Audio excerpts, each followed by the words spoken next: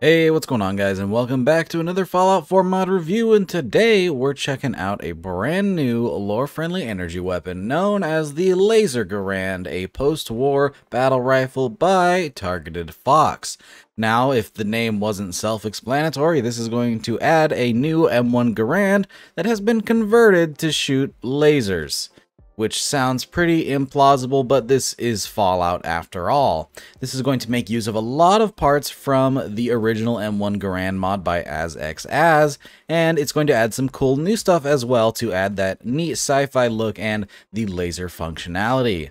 The way that this weapon actually functions is it uses a new ammo type. Well, it's going to use fusion cells in-game, but when it comes to the actual model of it, it is essentially a handful of small energy cells from past Fallout games that have been crammed into a Garand clip.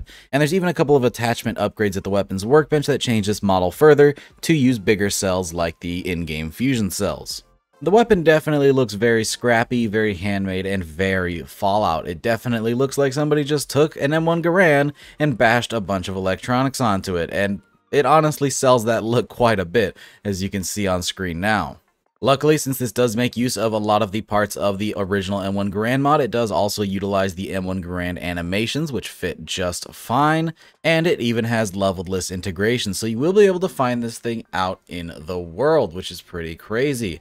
If you want to get your hands on one of these, you'll be able to find it after level 15 on vendors and factions like the Institute, Railroad, Brotherhood of Steel, and Gunners. A bit odd in my opinion to have this thing spawning on the Institute doesn't really seem like something that's up their alley, but hey, at least it'll help to add some more variety to their leveled lists. Additionally, this thing does have a different version of it that allows you to pick it up as a replacer for the vanilla laser musket. So now, instead of the laser musket, the Minutemen will be running around with laser M1 Garand. So if that's your thing, that's pretty neat. Just be aware that if you download the replacer version, it will not be added to the leveled list whatsoever. It won't spawn on any other factions aside from where you would find the original laser musket. This mod has undergone quite a bit of updates since its first release, and it is in what the author calls its finalized state, though there is definitely room for a couple more bug fixes and some polish here and there, and the author does state that they may add on to it later to add things like unique variants. But for now, this is pretty much what you're getting. Let's go ahead and take this weapon in-game and check out its stats and other cool features.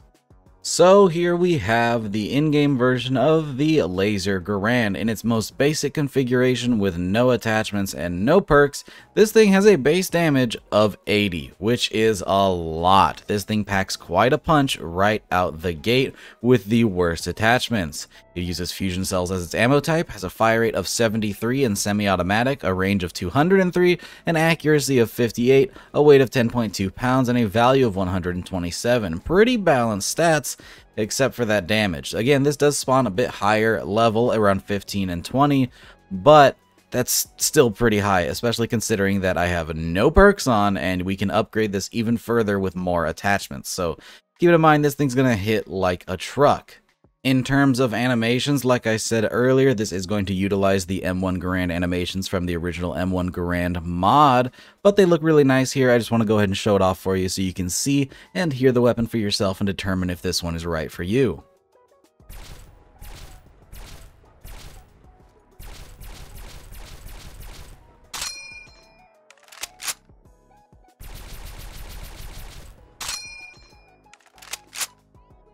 In terms of attachments over at the weapons workbench, this mod does have a bit going on. Starting with the receivers, we have standard up through advanced. They are a bit out of order here, but the advanced is going to give you a maximum damage of 115 compared to the starting 80. So unlike other weapons where it typically doubles the base damage, this one just adds a little bit onto it. But we also have access to something known as the auto receiver, which is going to require a handful of parts, including 20 military grade circuit boards, which is going to convert this thing to full auto. Well, sort of. There is a small bug with the auto receiver that I'll go ahead and show on screen now. It is full auto when you hip fire, but when you ADS, it goes back to semi-auto, which sounds like a bug, but, you know, it could be considered a pretty neat feature. It allows you to take nice precision shots while you aim, and hip fire is completely full auto, which is pretty interesting, but I don't think it's working as intended.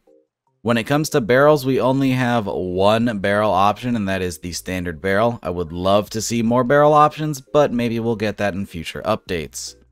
For stocks, we have the same story, just the one standard stock. For sights, though, we do have quite a bit of options. We have the standard iron sights. We also have something known as the metal piece for attachments, which is going to add a little rail or mount there for future use. We have the heat shield. We have the short scope, the makeshift red dot, and the long scope. Now let's go ahead and throw on the metal piece for attachments so we can check those out as well. We have the option to add on a muzzle device, of course allowing us to throw on no muzzle, a long focuser, and a gamma suppressor. Now, here is what is known as the tactical attachment, and this is what goes on that scope mount. You have the option to throw on a spoon reflex sight made by Pig, or a laser sight made by myself.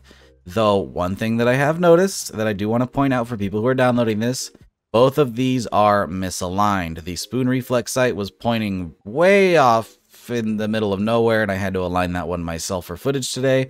And the laser sight doesn't actually utilize the laser sight functionality that I included with it. It doesn't actually allow you to aim with the laser sight. It's just kind of there, which is interesting.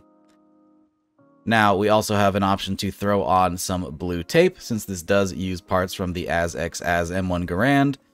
And then we do have some ammo choices. We have depleted fusion cells, a distorted internal capacitor, extended fusion plus batteries, internal recharging array, the Poseidon Energy military grade circuits, and the Watts prototype internal generator. And all of these are going to change the magazine capacity as well as, in some cases, change the magazine model or the clip model. I don't know, it's a laser thing, so it's different. Alright, and now then it is of course time for our damage test. We'll be running three tests today, the standard old version of this weapon with no attachments and no perks, a fully upgraded semi-auto one, and a fully upgraded full auto one, to see how they compare to each other. Now, the full auto test is going to be a bit funky, but we'll get to that when we get to it. Let's start over here on the left with our standard Deathclaw, aiming for the weak point with the basic version of this weapon. Let's see how it performs.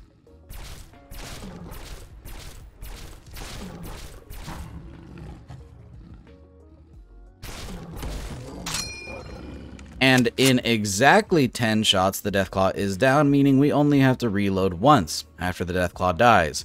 Though in combat, that may prove to be a bit difficult, you're probably going to have to reload a couple of times.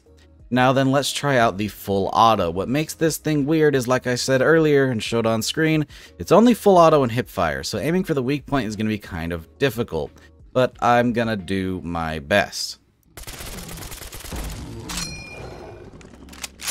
Nice. Not too bad. I think it died right before the last shot, making this about 11 shots, maybe 12, which makes a lot of sense. This does just a little bit less damage than the standard weapon, but it does have full auto capabilities, so that's pretty neat. Now then, let's try out a fully upgraded semi-auto version. Here is that non-functional laser sight I was talking about. And let's do our best to aim for the Deathclaw's weak point with a fully upgraded receiver. My guess is about 7-ish shots.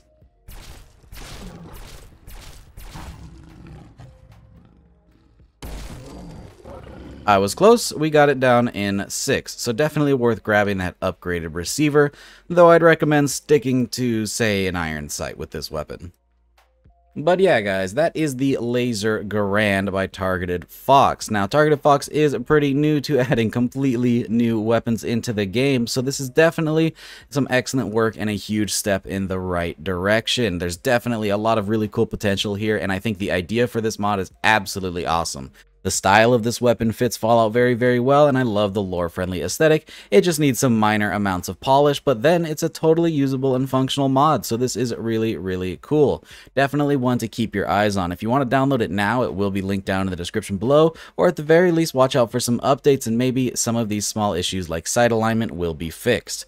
With that, I hope you guys enjoyed the video. If you did, don't forget to drop a rating. Consider subscribing if you haven't already for more videos just like this. A big shout out to all of my patrons for supporting every single video. And a very special thank you to Astro, Captain Chaos, Helljumper, Indecisive Wolf, Jackie Noid, Cushy, Moonlit Gamer Feed, and Youth RC for joining that Tier 3 Patreon membership. If you want to support the channel on Patreon, it'll be linked down in the description below, but it is completely optional. Thanks again for watching, guys, and I hope to see you in the next one.